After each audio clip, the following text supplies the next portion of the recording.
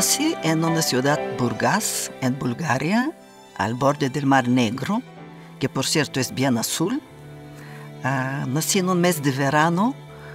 Eh, los primeros paseos que me dieron mis padres eran al borde del mar. Me imagino siempre mostrándome el lejano horizonte porque este es un tema que siempre fue muy presente en mi familia. Los primeros años pasaron sin ningún tipo de preocupación, con mucha alegría y con mucha música y mucha lectura.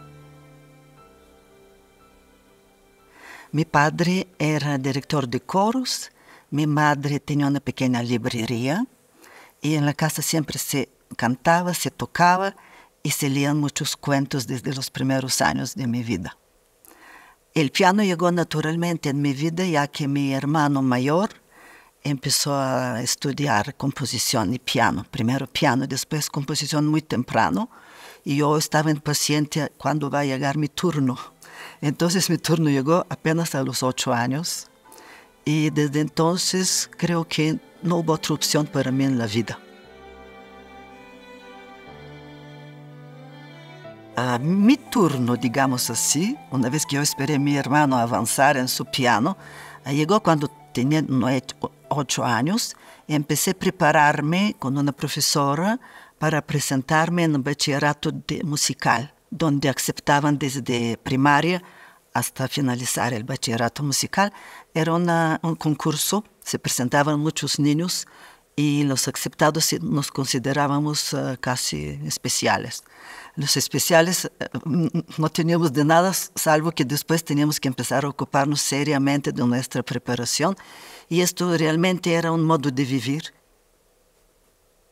Después del grado 12, el bachillerato musical termina cuando uno tiene 19 años, había concursos para la Academia Superior de Música en Sofía a la capital búlgara y allá el concurso era ya cosa muy seria porque en esta época uh, estábamos compitiendo 80 personas por 19 puestos. Teníamos también exámenes de cultura general, de cultura política, de cultura social y de cultura teórica musical. Todo esto supone unas dos semanas de exámenes muy, muy intensos. Uh, una vez que nos aceptan, empieza una educación de mucha exigencia, disciplina y autoexigencia. Esto duró cuatro años del pregrado y después se hizo una maestría en la misma universidad por otros dos años. Todo esto relacionado con muchos uh, conciertos, concursos, viajes. Es una vida muy rica en eventos en realidad, porque en este desarrollo, digamos, en la vida musical de una persona joven uh, también se conoce mejor y también entra de esta manera en la vida, aceptando que la música que hace es un reflejo de la vida real. Esto cambia toda la visión hacia la vida cotidiana. Incluso cuando uno forma familia y tiene hijos, uh, siempre lo primero es la música y alrededor son la familia. Yo me acuerdo que cuando tuve mi hija, yo tengo una hija, uh, después que tuvo dos semanas, yo me senté a estudiar y estaba durmiendo al lado mío, al lado del piano. Yo dije, si la voy a despertar o no? Durmió tranquila y hasta el día de hoy acepta la música como algo natural de su vida. La vida laboral de un músico casi es una prolongación de su vida en un conservatorio, porque siempre hay concursos que debe presentar para defender una plaza que está anunciada para ocupar. Entonces yo empecé por primera, como mi primer trabajo en el bachillerato musical ya de Sofía y al mismo tiempo empecé a tener, tener horas cátedra en el conservatorio como acompañante y como uh, maestría en música de cámara y piano.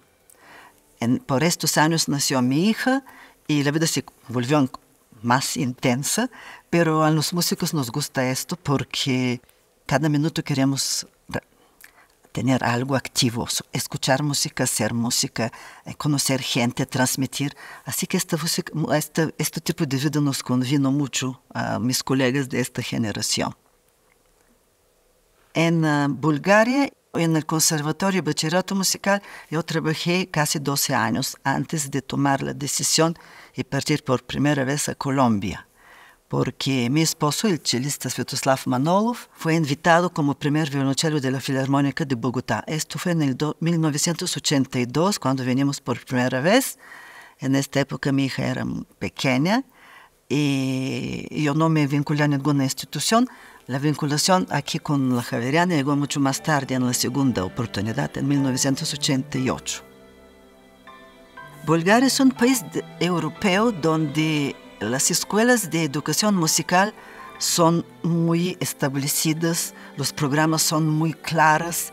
Nosotros tenemos una influencia tanto de la escuela centroeuropea y Europa del Oeste como de Rusia por nuestra, por nuestra situación geográfica. Uh, la decisión de partir a América Latina en general y en Colombia en particular fue que de nosotros se esperaba tal vez de hacer algo de nuevo, alguna, poner una base de una educación que respetara las inclinaciones musicales naturales de la gente aquí con la disciplina y formación estricta formal de Europa.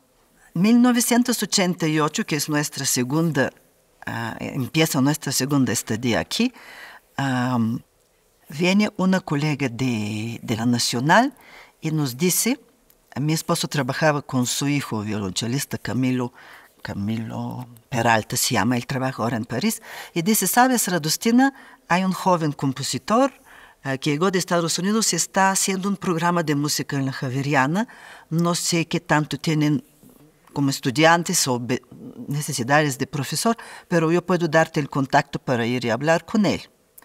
Ah, esto fue maestro Guillermo Gaviria. Uy, tal hora, yo voy, abro la puerta y veo dos personas, Guillermo Gaviria, maestro Guillermo Gaviria y maestro Alejandro Zuleta. Hablaba ya un español del anterior. Estadía, buenos días, buenos días, yo soy Radustina Super. Sí, y maestro Gaviria me da un libro, así me lo abre en inglés, yo no sé inglés, y me dice, mira, por por el momento no puedo ofrecerle estudiantes de muy avanzados de piano, carrera, pero nosotros hacemos esto, son un, es un libro de armonía aplicada donde el piano puede servir. Yo cierro el libro y digo, lo siento mucho, yo no estoy capacitada para eso. Intento levantarme e irme, y en el último momento él me dice, salvo si usted está de acuerdo empezar con uno o dos estudiantes. Yo me devuelvo y digo, a mí no me importa empezar, em, empezar incluso con un estudiante. Entonces empiezo con los primeros dos estudiantes de piano y en segundo semestre entra un grupo impresionante de jóvenes maravillosos. Primera generación de compositores y pianistas, donde después hicimos el primer disco con las primeras obras de ellos. Entonces ahí quedé claro, flechada. porque la calidad de jóvenes que entraron me, me exigieron tanto que yo quedé como afiebrada por este trabajo. No había puentes, no había 25 de diciembre, yo los citaba cada tanto, pedía permiso para que me abrieran un salón y escucharlos. En realidad esto fue en una época un boom porque así estructurada educación musical en esta época um, no existía en Colombia, éramos únicos. Y para dar una idea también de mi sorpresa, cuando yo empecé a trabajar en la Javeriana con estos dos, tres estudiantes, en esta época, en la ciudad, no me atrevo a decir en país, había tres instituciones que daban um, educación superior musical. El Conservatorio Nacional, la Universidad Nacional, Los Andes y Javeriana. Y Pedagógica, cuatro. Hoy en día creo que son 17. Mi hija estudió piano. Y pequeña, pues la llevábamos a todas partes con nosotros, ¿sí? Ella dormía detrás del escenario, estudió piano, hasta que a los 12 años, saliendo de un concierto que participó en la Universidad de Inca, se paró y dijo a su papá y a mí, yo no quiero como ustedes toda la vida estar solo con un instrumento, yo quiero trabajar algo con la gente. Y cuando nos dijo esto, con su papá dijimos, cuidado, aquí pasa algo. Entonces él se fue por el lado de publicidad, marketing, finanzas, uh, y está bien, hoy en día creo que no, no, no, no lamenta que no es música, pero va a los conciertos, muchos, muchos tipos de conciertos va. que esto creo que es muy importante para los niños, que esto queda a vida. Aquí está mi familia. En esta foto, por ejemplo, uh, es hasta aquí, pero abajo se ve como mi hermano me mantiene y mi mamá también, porque yo, a mí no me gustaban las fotos y me decían seria, pero se ve que mi sonrisa está apenas escondida. yo creo que aquí tenía um, como seis años y mi hermano diez, algo así. Aquí en mi hija pequeña, aquí tenía un año esta sonrisa nunca más se va a repetir así. y mi esposo, el violonchelista Svetoslav Manolov, que en realidad es el primer director y fundador de la orquesta uh, de cámara de Javeriana que más tarde se desarrolló y hoy en día la orquesta de Javeriana es una gran orquesta. Uh, también en estos años um, se han hecho muchos proyectos para poder dejar un archivo musical grabado. Y uno de estos es este primer disco que hicimos con obras de primera generación de compositores javerianos, de los que yo mencioné. Este es un disco con sello de la Universidad Javeriana. Más adelante ya hubo segunda, tercera y quinta generación. Aquí tenemos otro disco que yo grabé con colegas. Este ya es con sello de Banco de la República. Uh, el compositor Luis Rizzo Salom hizo no solo una trayectoria fascinante como compositor, sino también ganó muchos concursos. En Francia es muy respetado. Es decir, la javerianidad es también un esfuerzo constante hacia la, hacia la excelencia sabiendo que la excelencia no existe porque el camino no termina nunca, pero yo creo que es un esfuerzo constante hacia esto, se vuelve como una pasión.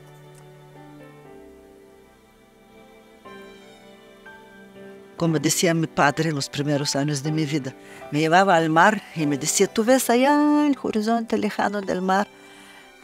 Por el camino vas a tener muchos tropiezos, pero nunca pierdes de vista el horizonte lejano porque tan pronto llegas a él vas a ver que se aleja más. Y así hace, y la vida así es muy llena. Siempre me decía esto del horizonte lejano. Tal vez porque soy costeña. en Bulgaria, nosotros no somos católicos, somos ortodoxos, como Rusia, como los griegos, como los serbios. Nuestras iglesias hay muchísimo, muchísimo pintura mural y aparte de esto, el arte del icono está muy desarrollado, presentando las figuras principales de la religión, como la Virgen María, como el Niño Jesús. Uh, todos nuestros santos, a propósito, son representados en la iglesia. Y uno de los iconos e imágenes más importantes de nuestra religión es la María, la Virgen María, porque se considera que es el inicio de toda vida.